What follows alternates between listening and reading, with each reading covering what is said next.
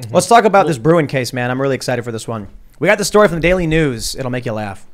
NYC Mayor Adams alarmed over pending Supreme Court ruling that could ease concealed weapons rules. Quote, mm-hmm. it keeps me up at night. Aw, poor baby.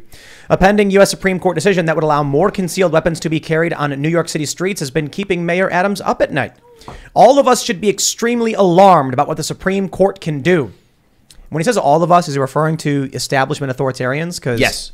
Right, not the people. Correct. That's not what he means. Yes, yes. Because he's worried about the wild, wild west, he says, right? Here's the problem. I live in New York City. It is the wild, wild west now. Exactly. This No, this future dystopian thing you think of is today, right? So it's, that, is, yes, Isn't that hilarious? that, Like Democrats always warn you about the possibility of what they've already done. yes, it's already There now. will be crime everywhere. It's like, yes, no, we know that that's a possibility because it's happening in the places it's where you're in control. Yes, Check this out. They say under the state central law, New Yorkers must show a specific need for why they should be able to carry a concealed firearm before they're permitted to do so. However, in most states, they just reject your reason. They go, "Well, you need a reason." That's not a good reason. Yes. which is ridiculous. That law was challenged by the New York State Rifle and Pistol Association. Bravo, good sirs and, and, and, and ladies, which claimed it violated 2A under the Constitution. Supreme Court justices have suggested that they agree that the law infringes on gun owner rights and is expected to rule on the case during the current term. The decision would also impact California, Hawaii, Maryland, New Jersey, mm-hmm. and Massachusetts. Oh, you'll love to hear it. yes. It keeps me up at night. We have some of the most stringent gun permitting laws. I'm extremely concerned about this. My legal team is talking to other cities to determine how we can come together to prepare for this ruling. Here's what I'd love. All right. In DC v. Heller, Supreme Court basically said the right to keep and bear arms extends to all states, not just from the federal government. The idea before was that the federal government could not infringe upon your right to keep and bear arms, but states could. DC versus Heller was like, nah, everyone can have guns. And well, I'm sorry, that wasn't the case. Uh, that that was the case as, as it pertain, uh, permitted uh, uh, pertained to the federal government in DC versus Heller. They were like, the federal government can't stop you from having a handgun. It was McDonald v. Chicago, where two years later they said, yes, this includes all of the states as well, because it was the DC jurisdiction. Now it was state. Now it was all the states. So it was nationwide. You could keep and bear arms. All of a sudden, we see a, wave across the country of shall issue states, meaning you apply for a concealed carry permit, you got to get. Here's what I'm hoping for. I am hoping for the one in a billion uh, chance ruling that the Supreme Court says, in fact, any requirement of a permit is an, is an infringement upon your right to keep and bear arms. Because let's be honest, it is. If you have to get permission from the government and they can say no, your rights are being infringed. If it was to not infringe upon your rights, the government has no say whatsoever. I can keep and bear arms. You can't stop me. What about a corporation? I know you are a two A purist. I know you are. Yeah. I'm actually not a two A purist. Well, you're I'm wong. actually not a purist. And the You need reason to why- leave, sir. We're gonna have to ask you to and and here is my here's my and here is my exception. I think you could have a regulation. It is possible in theory, not in practice because how it works, but in theory, it, you could have a regulation on firearms that does not infringe. How so? An example might be if you are going to, let's say this happens and a, a bunch of people decide to buy firearms, and we find that smaller statured people don't understand the power of, uh, you know, certain firearms, and the backlash is, is, is hurting them. And the state would say, hey, if you're going to sell a firearm, you have to put a rating system on it that would say big, small, little, whatever.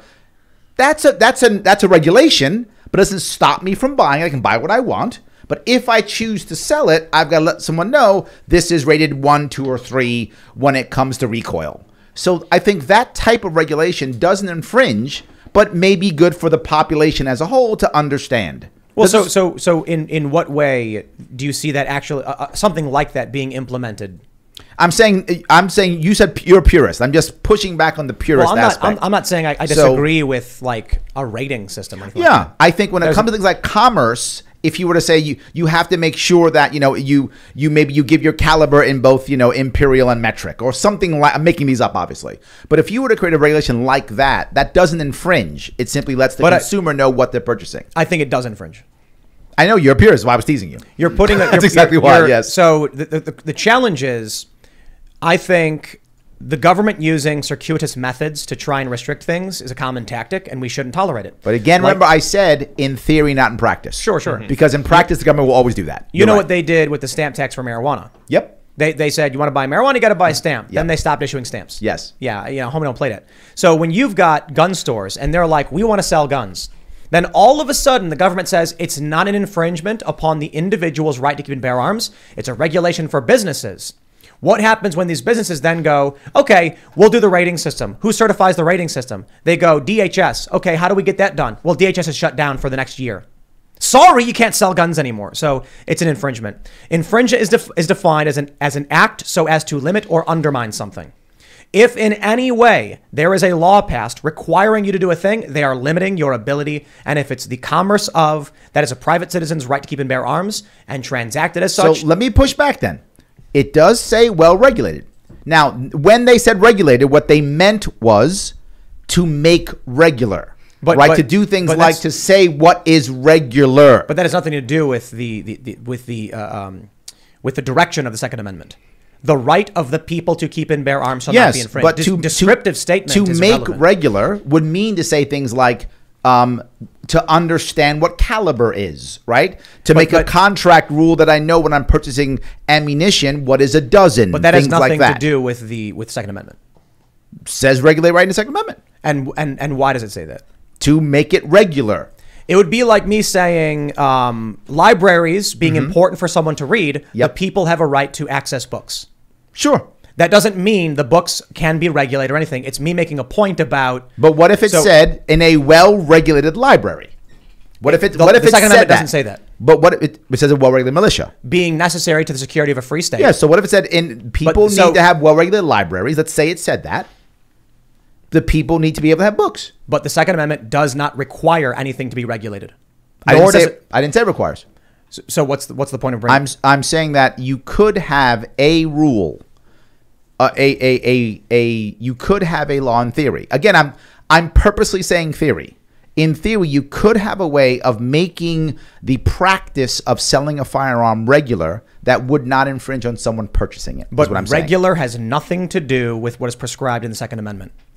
It is describing their opinion Yep. on why people should have guns, and then it says separately, the right of the people to keep and bear arms shall not be infringed. It also says a well-regulated militia shall not be infringed. I think that they're saying does it- it doesn't say that. A well-regulated militia being necessary to the security of a free state, the right of the people to keep and bear arms shall not be infringed. It sounds like they're specifically saying that the a well-regulated your right to establishing a well-regulated militia shall not be infringed. it's not saying that. I mean, the rest of So, it's just so descriptive. the original Second Amendment Mm-hmm. actually went on to argue that um, military or militia involvement has Mm-hmm. no bearing on whether or not you can keep or bear an arm. That was actually included in the original draft. They removed it because they were scared that it would argue conscription isn't allowed, that people could reject conscription. So so let me then move to the next important piece, which you have states like California and New York. And again, I'm a New Yorker, so I get this. About every poll you take in New York State, about 60%, give or take, of New Yorkers actually want more gun control. Too bad. I'm just saying they want it. Yeah. So with that in mind, politicians are going to act accordingly, right? right. They're going to, regardless of constitution, they're going to act accordingly. So they're going to try their damnedest to stop everything they possibly can. So how do you move forward in a state like California, New York, that is going to go out of its way to simply go no, just no, And- Federal intervention. and we do it already. Like if you go to New York City right now, it, with a with a firearm that you own, it is on it is locked and unloaded. It is following every single TSA guideline to the letter. You will go to Rikers Island. That's right. They will take you and put you to Rikers Island. They wait for people to land, knowing that they have guns in the checked baggage. Mm-hmm. Yep. And they wait as soon as you put a finger on the bag. Yep. They come and arrest you. Correct. That is right. New York City. That is Yep. exactly correct. New Jersey, Maryland, very similar. Yes. So how do you? Because these cops are scumbags. So I know what you want, and I get what you want. I'm actually not against what you're saying. Oh, I- I want- I'm, trying to say, but I have a realistic issue here in my state, where most of my people in my state think that more regulation is a good idea, I don't care what they think. and you don't have to. You're not a politician. Right, Uh, right. if you're a politician, you've got to care because they're going to vote for you. They're going to put you in charge, and they're and they're the ones who are going to put the DAs in charge. So the DAs going to decide who they're going to prosecute, who they're not. Mm-hmm. Right? The DAs in New York City do this job because the people in New York City want them to. That's Right. why they're doing it. They're voting for these DAs to do this, And so- the people want this. So we would need federal intervention into into New York to stop the infringement upon people's rights. And I view it as no no different than if let's say New York decided they were going to segregate schools Mm-hmm. and the National Guard or Army had to be called in to de- to to uh, uh, uh, to desegregate. That's probably a good idea actually in New York because they do segregate schools. But Right. anyway, So that's besides the point. My yes. view of things is that um, the Constitution is it's the founding document, the, Mm-hmm. the, the supreme law of this land. You got a problem with it, you can amend it. You need popular support to do so, and you're not going to get it. Yeah. You can try. And I, I- I say that realistically. By all means, I encourage everyone to try to petition all of the states to have a con- convention of states to make the changes that they hope will happen. There's a reason why gun access is expanding. It's because most people actually want access to mm-hmm. guns. When they say most people want gun control, it's because advocacy groups are lying to you. And I mean that absolutely. They say things like, do you think there should be background checks for gun purchases? And most people say, for sure. Yeah, most people do Because there Yep. are. Yep. Then they say, people want universal background checks. Then they say, what we're talking about is private sales. You didn't ask that of the person when you took the poll. Right. You look at you you look at uh, liberal gun owners, of which there are many. Yep. You look at Democrats, and it's like 50 some odd percent uh, own weapons. You look at states like Vermont, places like where Bernie Sanders comes from. And this shows you the duplicitousness of these politicians that Bernie Sanders comes from a state that has actually one of the lowest ages for owning a gun, mm-hmm. that has some of the highest gun ownership, where he campaigned in 2015 saying, weapons is a urban versus rural issue. Yep. Today he says these gun control laws don't go far enough Yeah. because he's just a lion. It's, it's like you described. Yes. They just want to get elected. Yes. And they won't just stand up and say this is what is and why it is, and if you want to change it, we can work to change it. But this is the way things are. Just because 60% of people in New York want to strip the rights away from the mm-hmm. American people does not mean they get to. Yeah. Sadly, and this is the piece I'll bring up again, and people get mad when I say this. The only party that is even trying to do what you're talking about is Libertarian Party. That's right. The only one. Republicans are, are, are caving. Democrats in this one, I'll give Democrats the, the the I'll give them credit where credit is due. At least they're open about grabbing the guns. At least they're open. At least they're saying we hate guns. That's one thing they're saying. No, they- the, they- the they- Republicans say they love guns and then still support grabbing the guns. It's true, but difference. you know, among Democrats, they go, "No one is trying to ban your guns." Oh, no, they say, "Take your guns." Yes, right. They are trying to ban the guns. They're not mm-hmm. trying to take them. I had a what they do is they make you they make you a criminal retroactively. Is how Democrats do. And they're very good. They did my state. ATF did it with Yes. the uh, with the with the eighty percent lowers. 100%. They're doing it with ghost guns. They're going to do it with three D printed guns. Yep.